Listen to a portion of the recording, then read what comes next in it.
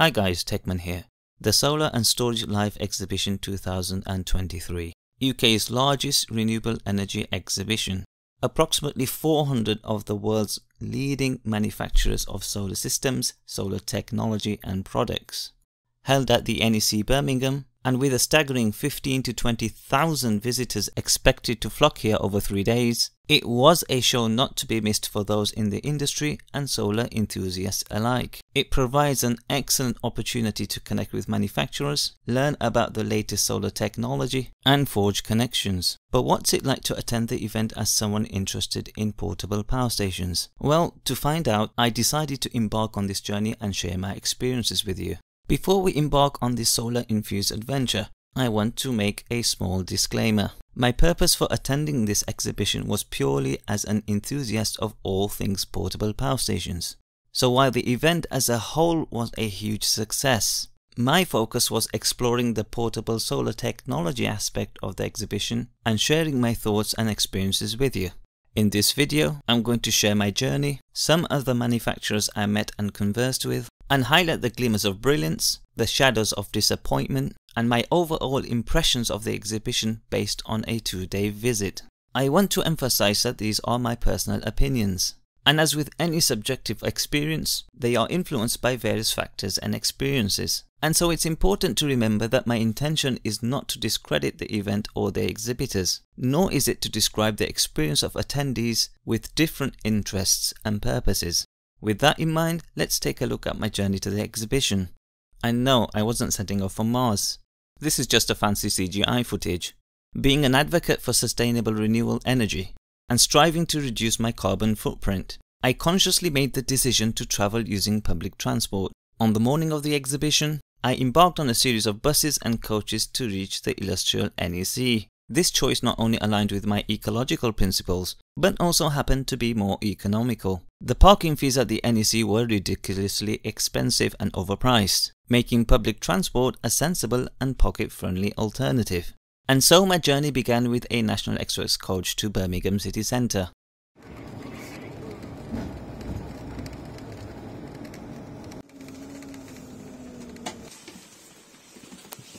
Thanks boss, thank you.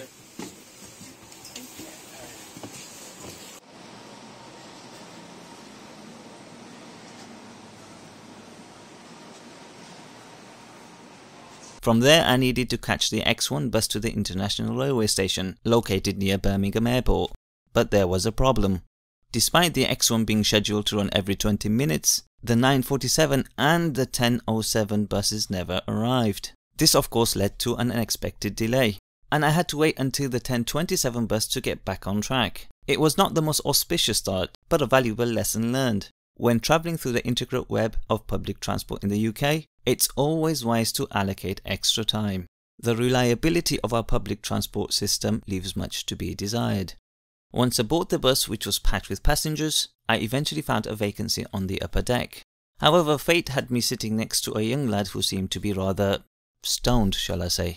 Nonetheless, I eventually arrived at the International Railway Station at about 11.05. It's worth noting that the station conveniently provides a link to the NEC.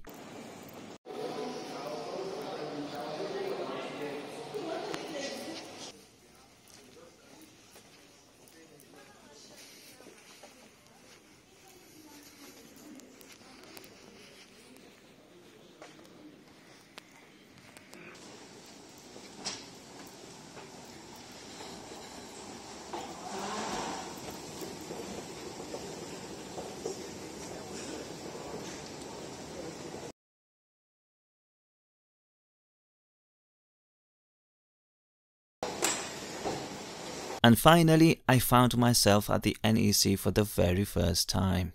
On a side note, I must say the facilities at the NEC were commendable, boasting numerous food outlets, well-maintained toilets, and attentive staff ensuring smooth operation of the centre. However, my experience the following day was quite different. The place was absolutely bustling, hosting multiple exhibitions simultaneously. Queues form at toilets and food outlets, and people scrambled to find tables or any available space to enjoy their meals in peace. Anyway, let's return to day one at the Solar and Storage Live exhibition, which was now up and running at Hall 5. As I made my way to the entrance, I couldn't help but notice the long queues of people anxiously waiting to register and receive their lanyards. Fortunately for me, I had come prepared. Prior to the actual opening, all attendees received an email with their personal badge, which you could print at home yourself, allowing you to skip the queue. And just like that, with a quick scan of my badge, I was granted swift entry into the event. You're a smart guy. Clearly picked up some flashy tricks. Now, I won't bore you with a detailed account of every interaction and observation from the two days I spent at the NEC. Instead, I'm going to highlight some of the prominent manufacturers in the portable solar technology world. My first stop was Bluetti, a renowned name in the industry. They showcased the latest AC180p power station and other units like the B500 modular pack. However, engaging with the staff proved to be a challenge. Language became a barrier, and they struggled to fully understand most of what people were saying. Now, to be fair, this issue wasn't limited to Bluetti alone. I encountered this problem throughout many stalls. An overall lack of understanding and effective communication. But I'll touch upon that a little later in the video. Despite the communication challenges, it was still nice to see an array of Bluetti units on display and have the opportunity to inspect them in person. Although I have yet to try or own these larger units, I did do a review of the EB55 on my channel. If you're interested in that review, the link can be found in the description. Moving on, my attention turned to the EcoFlow stand. Unlike my encounters with Bluetti, the language barrier was not a significant issue here. Nonetheless, I took the opportunity to raise a pressing concern the lack of after sales support from EcoFlow. Many of you have reached out to me sharing your own experiences and frustrations, and some of you may recall the customer service experiment I conducted last year. Link is in the description if you haven't already watched that video.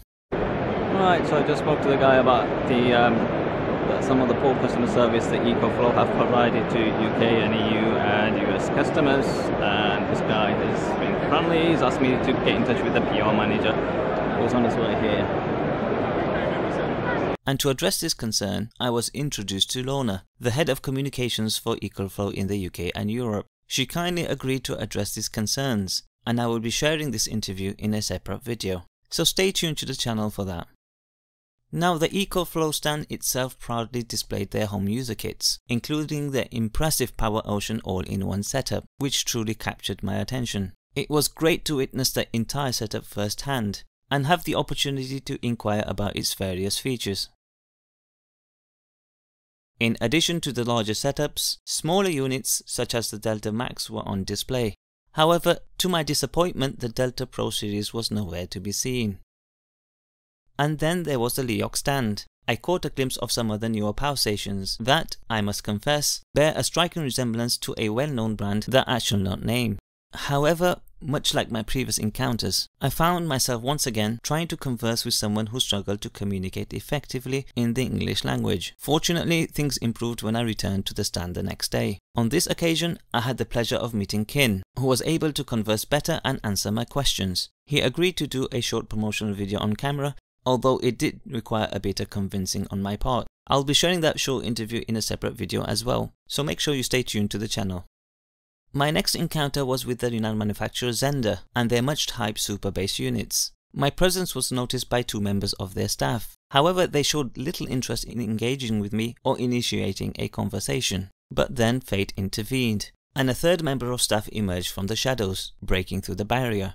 We delved into various topics, including the apparent lack of Zendure products and marketing in the UK. He explained that Zendure's targeted market within Europe primarily lies in Germany, which left me with a twinge of disappointment. However, we managed to have a delightful discussion on power stations in general, exchanging insights and thoughts on how they could shape up in the future.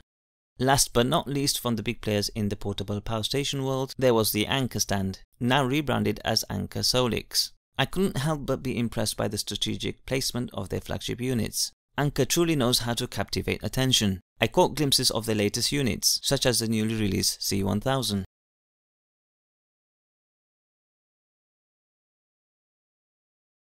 And of course, the F3800 power station, which Anker Solix is currently crowdfunding. While there were other power stations and products to view and admire, once again the staff showed little interest in approaching the half a dozen visitors that were present. But once again, my fortune was better the following day.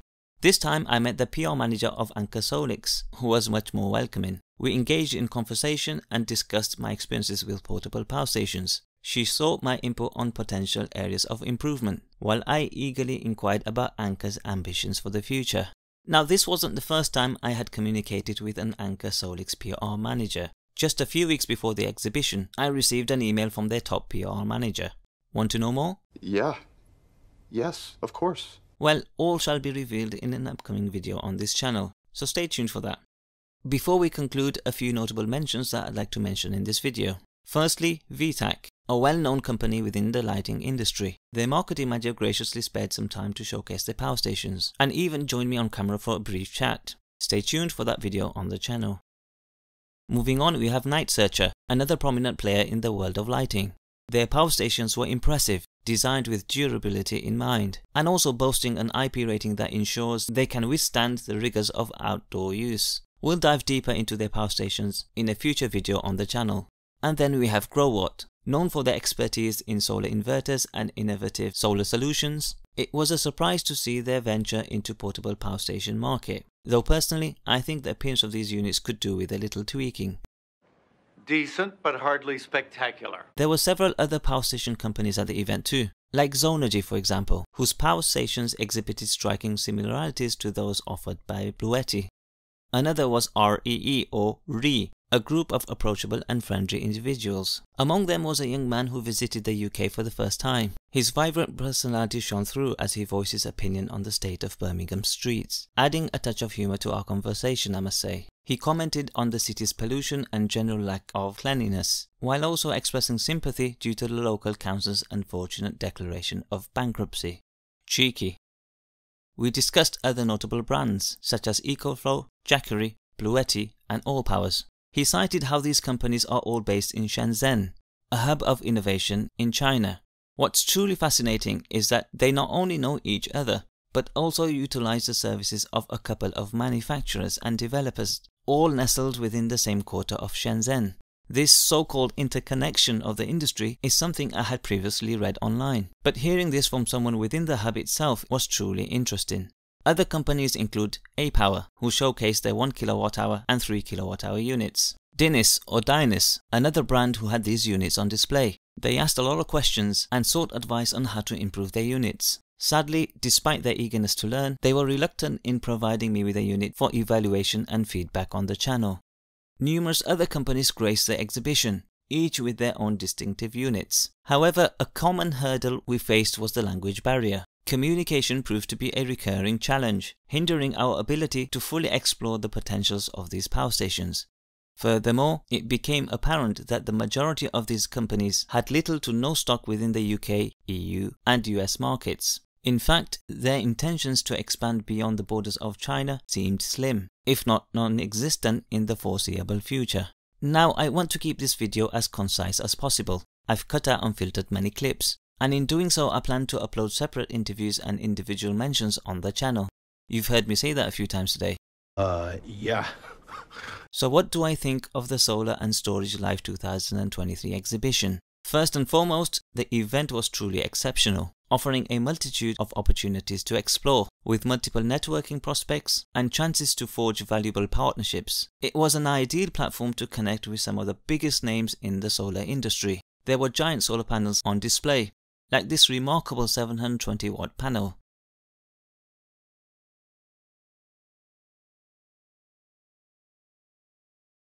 I had the pleasure of meeting this gentleman from Pylon, a dynamic software company specializing in solar designs, and learn about their software's capabilities in building the perfect solar installation tailored to individual needs. The exhibition also provided insight into tools and equipment essential for meeting the energy demands of today. Seeing these cutting edge solutions in action was both informative and inspiring. There were speeches on solar energy solutions and valuable insights from industry experts. There were numerous companies presenting energy storage solutions, ranging from server rack batteries to all-in-one solutions. Notably, a significant number of companies venturing into solar EV charging. The diverse array of products and solutions demonstrated the industry's commitment to sustainable transportation. There was even an F1 simulator present at the exhibition. I mean, how cool is that?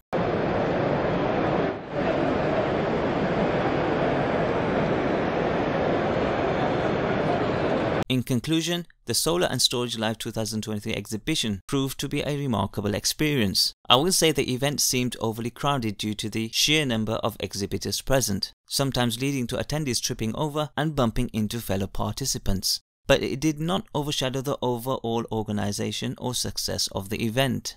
The exhibition fostered innovation, learning and networking, providing a platform to connect with industry giants, the opportunity to witness cutting edge technology, and explore limitless possibilities of solar energy. But from the perspective of portable power stations and their manufacturers, I was left feeling somewhat disappointed. Now you might think perhaps my expectations were too high, but my disappointment stems primarily from the conduct and communication of some of the exhibitors, rather than the event as a whole or its organization.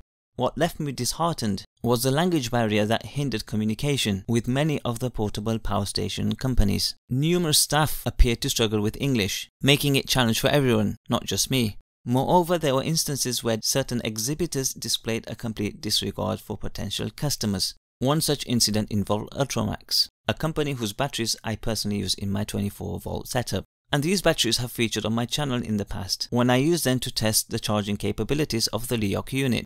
Another example was an encounter with a representative who was discussing the specs and application of these blade battery cells. To my disbelief, he abruptly interrupted our conversation to take a video call from his family back in China. Not only did this demonstrate a lack of professionalism, but it also showed a complete disregard for the people standing behind me, waiting to engage with him.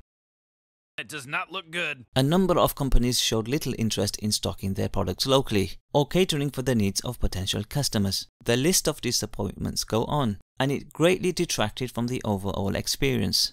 And after embarking on a two-day journey to Birmingham for the conference, and a relatively positive experience on what was my first attendance at this event, of course dampened by the disappointments I've highlighted, it was time to bid farewell to the exhibition and return home via the economical and ecological mode of public transport.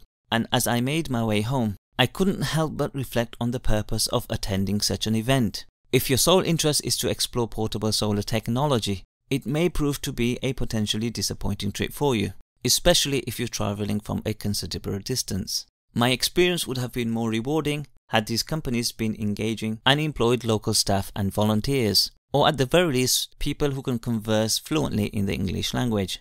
And as I wrap up, I want to remind you that I will be uploading more content from the exhibition soon, so be sure to stay tuned. I hope this video has been helpful to you. Thank you so much for devoting your time to listen to my experiences. Your support is greatly appreciated. Right guys, as always, stay safe, stay green, and I'll catch you in the next one.